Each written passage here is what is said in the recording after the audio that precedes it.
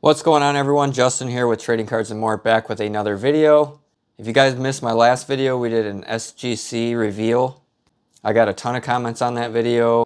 It did pretty good, so I decided to do another video where I'm going to actually be cracking a few of these cards out and sending them off to PSA.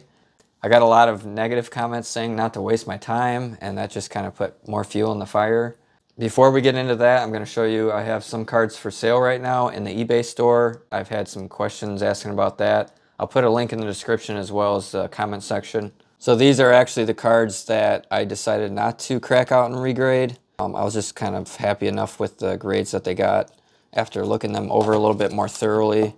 We got the Hank Aaron, we got the 60 Willie Mays. These are all up for sale in the eBay store as well. McCovey rookie card, Mickey Mantle got a two and a half. The image on this looks great. It's just obviously off-centered. Really nice surface, I thought, anyways, but six and a half on the Clemente. This Hank Aaron got a three due to that kind of crease or blemish right there on the card. Um, but just looking at it, you don't even see that. And it looks probably more like a near mint card, honestly. 57 Hank Aaron got a four. That's for sale. Four and a half on the 68 Mays.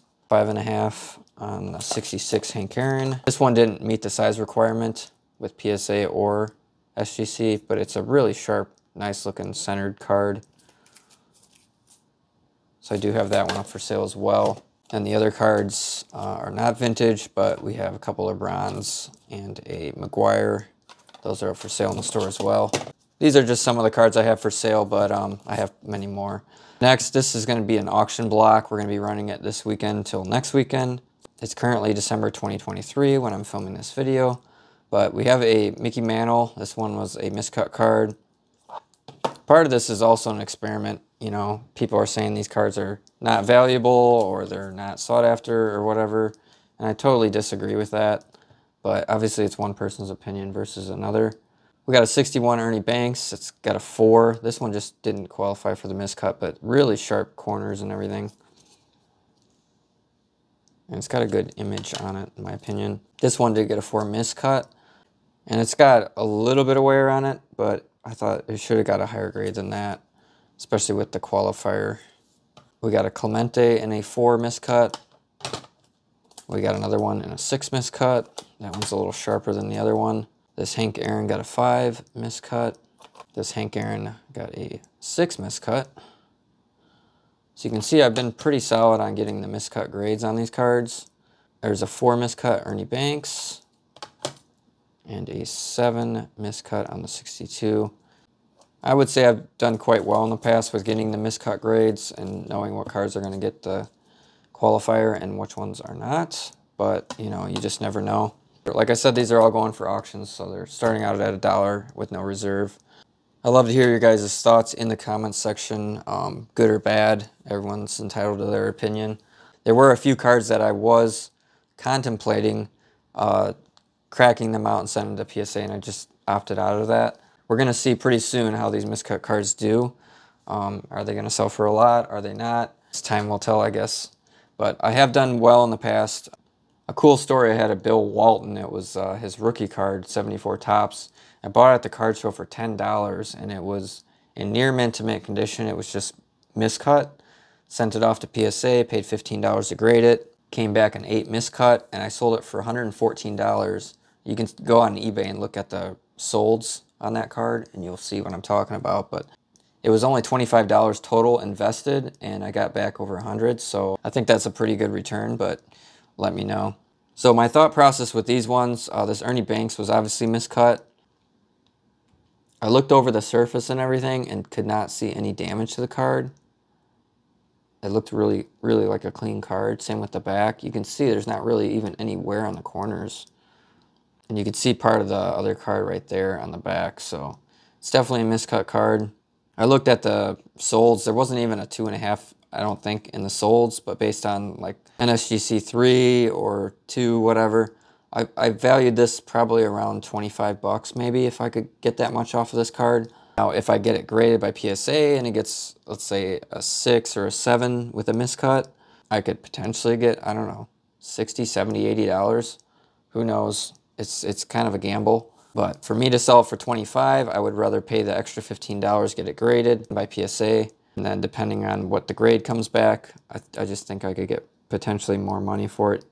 It's just one of those things that you have to kind of weigh your options and take the best option for you, you know.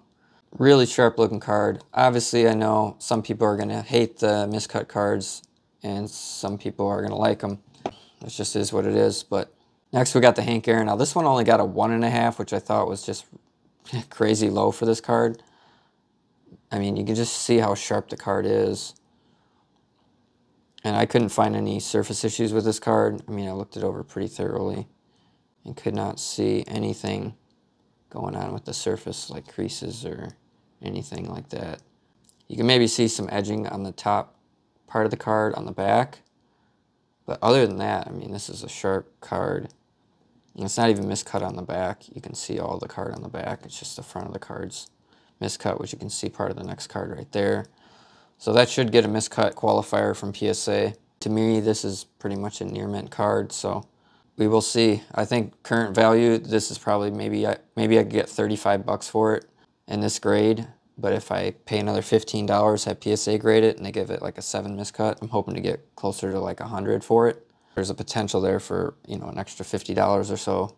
But like I said, this is all a gamble, and I'm willing to take that gamble because I think it's a great looking card.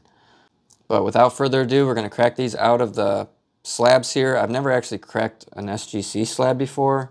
I've cracked a ton of PSA cases in the past. I've cracked a BGS, some other companies as well. Uh, I can't think of off the top of my head, but this shouldn't be too difficult to do. There are some easier ways to do it, I'm sure, but what I usually do is I get myself some cutters. I just got these at Ace Hardware, and I just crack the corner and the top part of it, and then I pry it open with a cutting blade, and I can usually pop the card out. Okay, that's cut number one. I see some people crack the case, and if you crack the case, like down the portion of the card, to me that is a way you're going to damage the card. So I'm not willing to take that risk. You can see I'm just cutting the...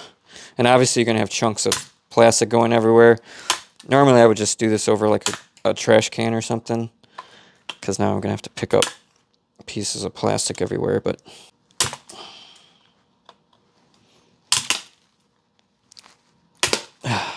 This might be a little bit of an overkill, but the idea is that the sides and the top are going to be able, I'm going to be able to pry into there.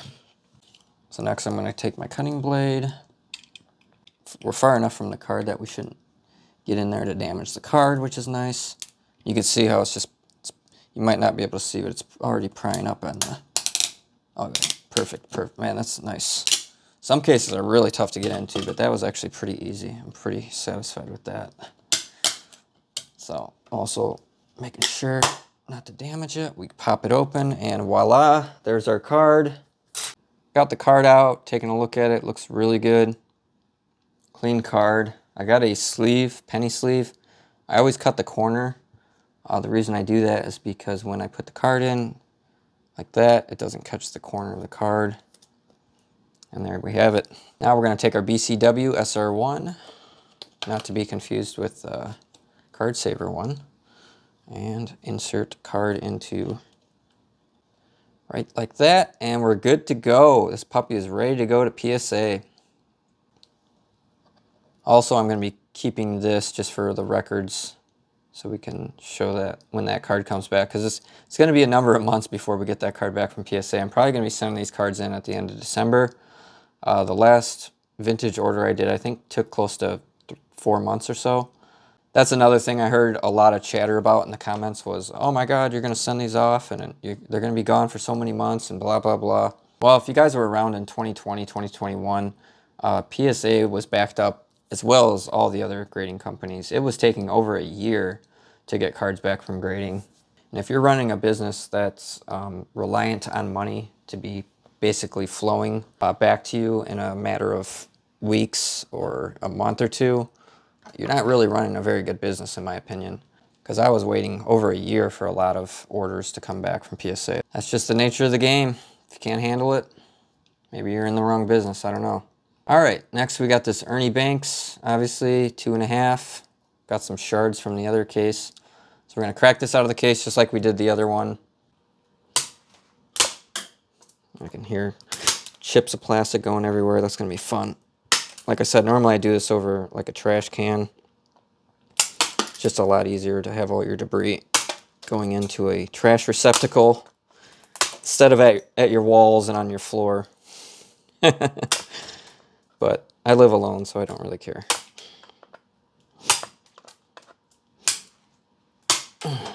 All right, that was pretty easy. Like I said, these cases seem a little bit easier. And some people use a screwdriver. I just like the cutting blade because it's a little skinnier and it just kind of gets in there easily. Oh, there we go. Nice. I just love how it just, you can just hear that crackle some A ASMR going on for you guys. Just listen to it. Ah, yeah. Ah, that was nice.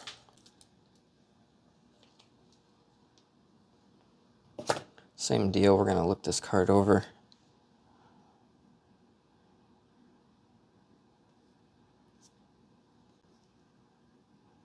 Really sharp looking card. So once again, we got our penny sleeve. There's a little corner cut out there. This one looks even better on the back of the card. I mean, just super sharp looking card. A little bit of a print defect kind of going on there, a little bit there, but not too shabby. Put it into our SR1 here.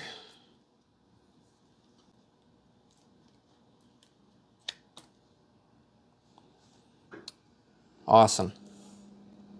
There she is, 2.5. So put your guesses in the comments what you think these are going to come back. Obviously, we're going to do another video showing all of our vintage stuff that's going to be going in. And I'll be giving it my pre-grades, which I've typically been pretty, pretty dead on in the past. I'm thinking six miscut on this one. I'm thinking seven miscut, so. Just to give you an example, this got a six miscut. It's the exact same card and you can see how much nicer you can just see the colors are better on this one but also you can see the sharpness how much nicer the corners look you know this one's got some little print defects on the team name there so respectively then you look at the back I mean just look at how, how much nicer that card looks so you're telling me if this got a 6 miss cut, this isn't going to get at bare minimum a 6 miss cut, if not a 7.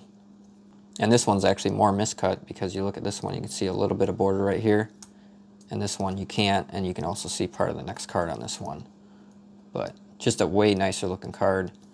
And there's no way that's a, that should have got a, a 1.5 grade. But that just shows you how, how badly they downgraded the card just because of the cut of the card. So yeah, pretty cool. And this one, like I said, is going up for auction, so we're going to see what that one's actually going to sell for.